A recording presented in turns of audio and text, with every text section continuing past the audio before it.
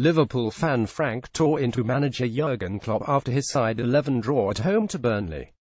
Speaking to Robbie Savage and George Riley on 606, Frank fumed We've got one of the biggest circuses at Anfield at this moment, at Liverpool Football Club, and the biggest clown of the lot is Jurgen Klopp.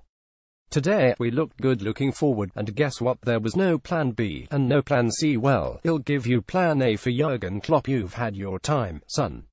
At the end of the day, thank you very much but I want a manager that needs to understand football reasons to show that you build a team from the back. Mated's defense needs to be sorted out he should have done.